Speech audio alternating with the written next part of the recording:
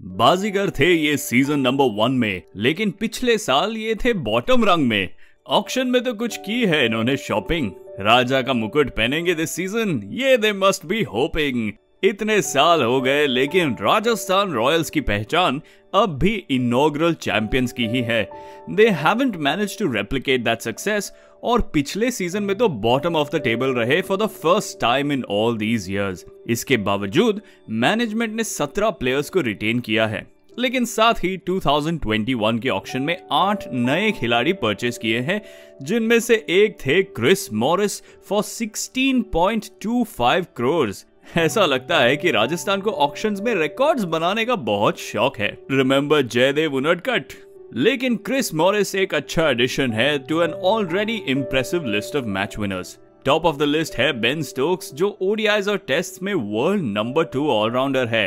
T twenties में उनका record जरा हल्का है, लेकिन उसे सुधारने में ज़्यादा वक्त नहीं लगेगा for a player like him Jos Buttler के कारनामे तो सभी जानते हैं, और फिर आते हैं संजू सैमसन, जो कैप्टनसी के रोल में भी नज़र आएँगे। अब कैप्टनसी के प्रेशर से उनके बैटिंग पर क्या असर पड़ता है, ये तो ओनली टाइम विल टेल लेकिन पिछले सीज़न के सरप्राइज़ पैकेज निकले राहुल तेवातिया। 2020 में उन्होंने अपना एक अलग ही रंग दिखा दिया। In him, Rajasthan Royals found a finisher auction में राजस्थान ने शिवम दुबे को भी खरीद लिया।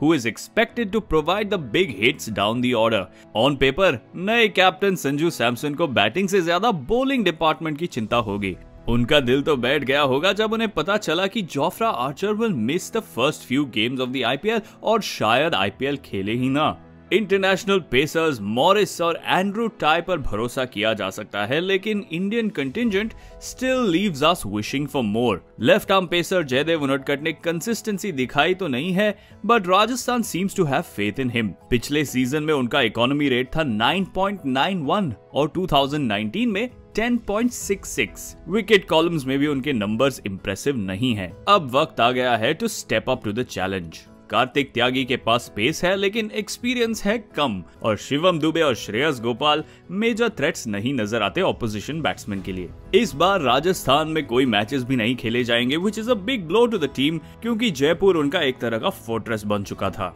राजस्थान रॉयल्स हमेशा से ही एक अंडरडॉग टीम रही है, और अंडरडॉग्स अडेप्ट फाइट और सरवाइव करना जानते हैं। आप हमें कमेंट सेक्शन में ज़रूर बताएँ, क्या राजस्थान रॉयल्स 2008 का परफॉर्मेंस रिपीट कर पाएँगे या नहीं। लाइक शेयर और सब्सक्राइब करना ना भूलें। Thank you for watching